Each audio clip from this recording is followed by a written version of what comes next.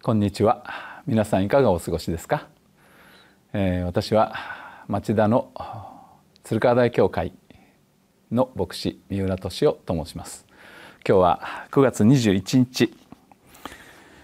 上辺だけの従順は長続きしませんというタイトルでエレミア書の34章8節から22節を共に味わいましょう。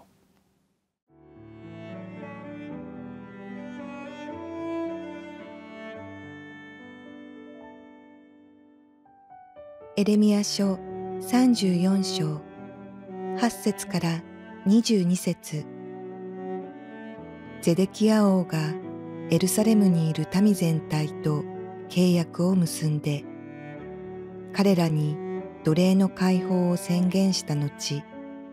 主からエレミアにあった言葉その契約は各自がヘブル人である自分の奴隷や女奴隷を自由の身にし、同胞のユダヤ人を奴隷にしないというものであった。契約に加わったすべての主張と民は、各自自分の奴隷や女奴隷を自由の身にして、二度と彼らを奴隷にしないことに同意し、同意してから奴隷を去らせた。しかしその後で彼らは心を翻した。そして一旦自由の身にした奴隷や女奴隷を連れ戻し、強制的に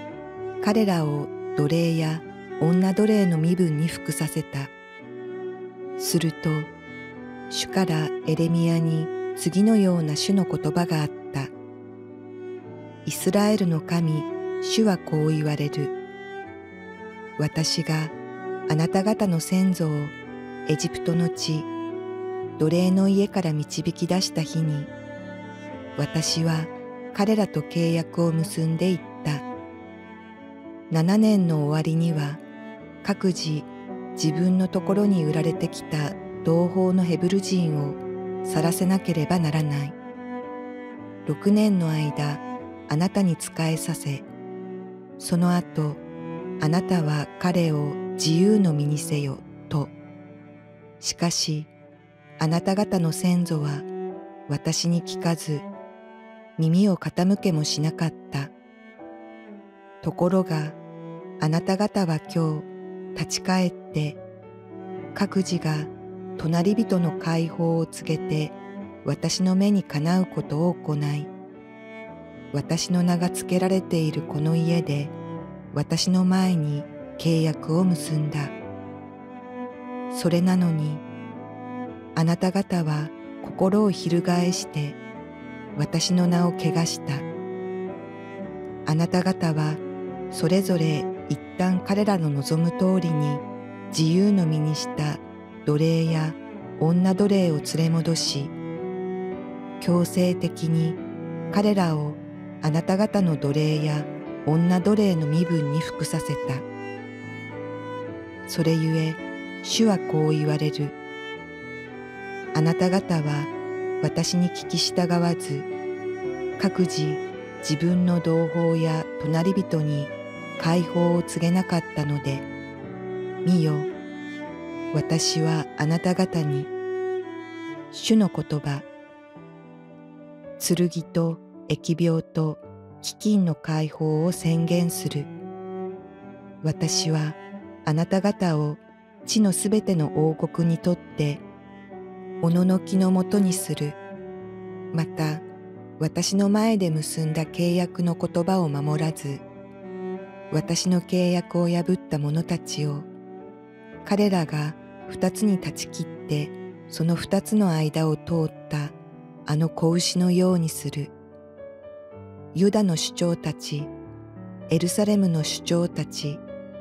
カンガンと祭司と民衆すべてが、二つに分けた子牛の間を通った者たちである。私は彼らを敵の手、命を狙う者たちの手に渡す。その屍は空の鳥や血の獣の餌食となる。また、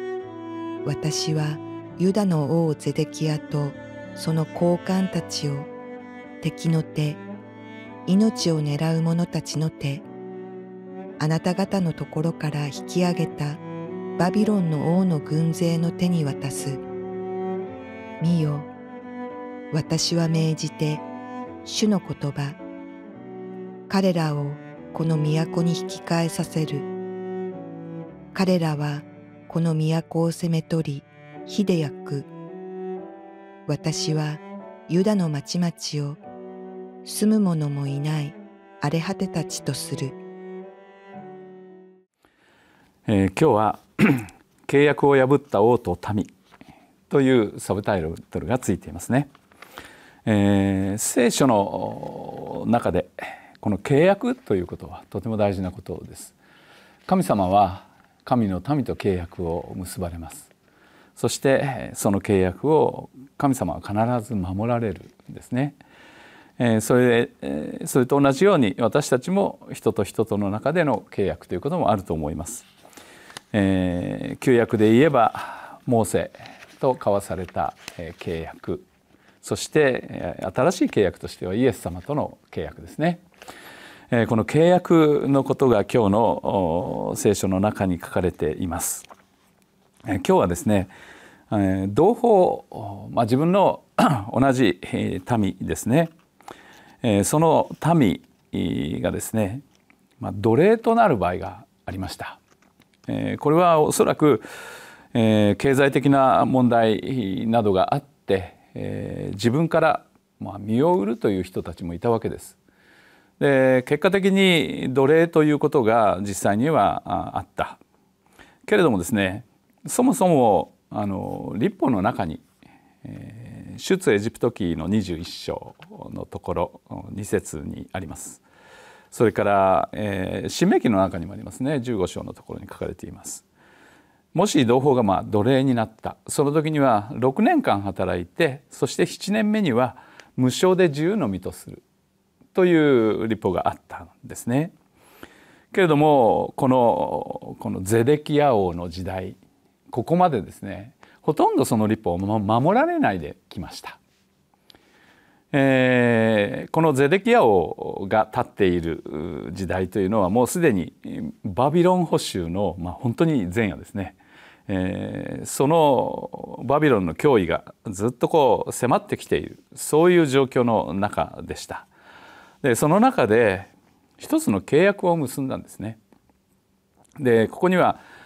民全体と契約を結んでと書いてあります。え特に神ととは書いてないんですけれどもしかし、え、このことはですね神様にとって大事なことでした。で、まあ、契約に加わった人たちそれが、え、ここにはですね、えー、首長と民と書いてあります。まあ偉い人たち。そして民。各自自分の奴隷や女奴隷を自由の身にして二度と彼らを奴隷にしないことに同意し同意するんですからね。そうしますと同意してから奴隷を去らせた。とここに書かれています。えー、まあその当時ですね。バビロンの脅威があって。ある意味彼らは神様に対してもねもしその奴隷同胞を奴隷にするなというその立法それを守るそういう善を行えばですねまあ、まあ、ヤーウェ神様の顧みがあるかもしれないという思いがあったと思います。それともっと現実なことを現実的なことを言うとですね、まあ、エルサレムが包囲されてしまっていて町の外の高地をこう耕す奴隷の仕事だったんですけれども、まあ、それがもうできなくなっている。でそういう、まあ、打算的な意味でね 奴隷を解放するというようなこともあったかもしれません。でそれはまあ一種あ立法を守るんだということですから悔い改めの行為として移っていたかもしれないですねその行為が。ところがところがです、えー、バビロンのネブカト・ネツァルですね彼が一時的にこの時にエジプトと戦った後に撤退をしていく状況が起こってきました。でそのような中でもともとね彼らの心の底にあったのはどちらかというとまあ自分のことを考えていたそういう中で彼らは心変わりをしてしまうんですね。えー、解放したにもかかわらず彼らをもう一度奴隷の身分へ戻してしまうえこういうことをしてしまったんですね。これはもう明らかに契約違反というやつです。で14節にこういうことが書いてありますね。7年の終わりには各自自分のところに売られてきた同胞のヘブル人を去らせなければならない6年の間あなたに仕えさせその後あなたは彼を自由の身にせよこう書かれていてでそのようにしたように見えていたけれども彼らはこの立法の本当の意味を理解していませんでしたからまあ簡単に彼らはその契約を保護にしたということです。でここではね「あなた方の先祖は私に聞かず耳を傾けもしなかった」と書いてあります。彼ら先祖ねユダヤの民族彼らの先祖からずっとこのことに関しても耳を傾けてこなかったというんです。で神様の前に解放を告げたのにもかかわらずその契約を破って彼らをまた奴隷にした。この心を翻してとありますね。これはもう本当に心を変えてしまうということです。そして契約を破棄し。でそのことは結局ねこの立法をお与えになった神様その神様との関係を破壊することになりますこれは皆を汚すとここに書いてありますけれども本当に彼らは神様との関係を踏みにじるということになりました。で神様が契約ということを私たちと結ばれるそのことに対してですね本当に私たちは神様との約束であるからそれを違えるということがあってはならない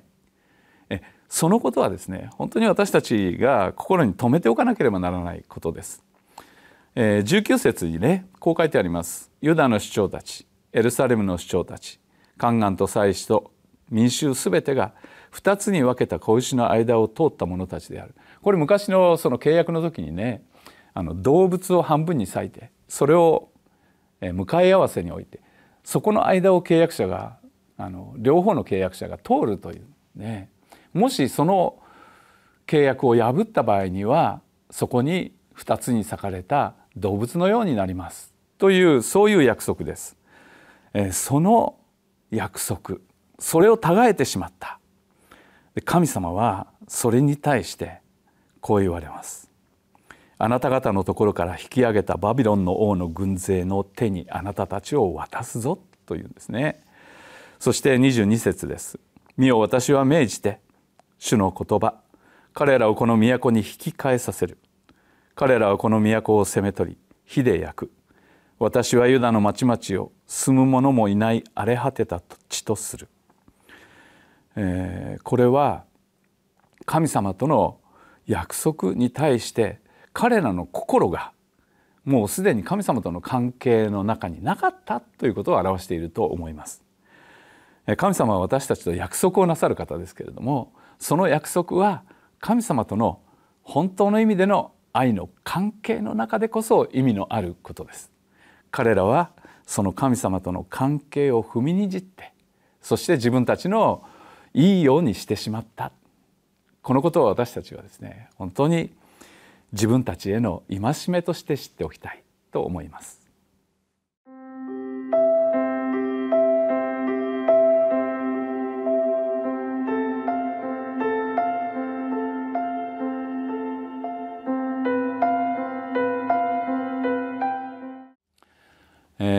あなたは今神様とね主との約束を破ってしまっているようなことはありませんか？あの当に私たちはですね主に従いたいと望んでまあ神様といろんな約束をすることがあります。あるいはまあ本当にね自分の信仰上に大きな約束そういうことをすることもあるかもしれません、えー、聖書の御言葉に従う。